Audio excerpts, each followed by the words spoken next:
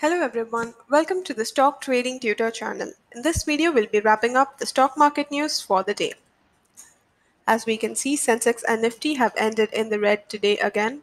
Sensex has ended 135 points down at 37,847 level.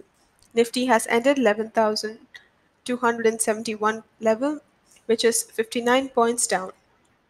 The top gainers on the Nifty today were Zee Entertainment, Asian Paints, Hindustan Unilever, HDFC, and HCL Technologies. The top losers on the Nifty today were UPL, Adani Ports, Indiabulls Housing, Eicher Motors, and Indus IndusInd Banks.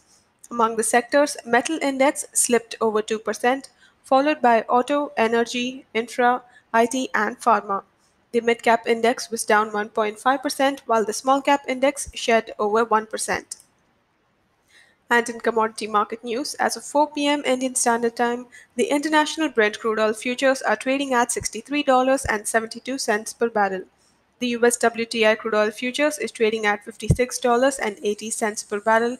Gold is trading at 35,016 rupees per 10 gram, which is 0.01% lower than the previous close. Silver is trading at 41,532 rupees per kilogram, which is 0.24% higher than the previous close. And in currency market news, the US dollar Indian rupee currency pair is trading at 69 rupees to the dollar, which is 0.01% lower than the previous close. And in other stock market news, Reliance Nippon Asset Management Company's promoter Reliance Capital has created pledge on 22% stake from July 22nd to 23rd. Reliance Capital's 22% equity in the company has been deposited in an escrow with pledge creation. Crompton Consumers Q1 results were announced, showing a net profit rise of 17.4% at 122.4 crore rupees against 104.3 crore rupees previously. The revenue was up 11.9% at 1,347 crore rupees versus the 1,204 crore rupees year on year.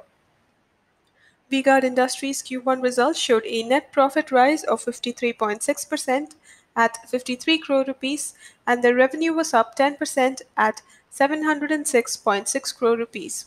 The EBITDA was up 52.1% at 72.1 crore rupees while the margin was up at 10.2% year on year.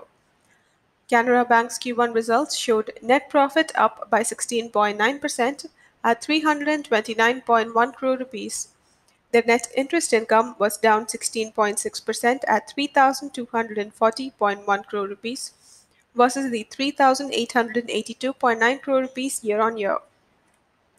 Those were the main news items for the day. Thank you for watching this video. For more videos on stock market and trading, please subscribe to this channel.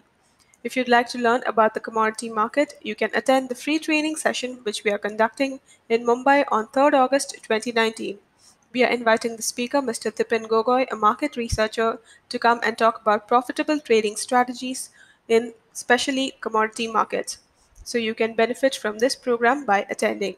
You can register by clicking the link in the description and filling out the details.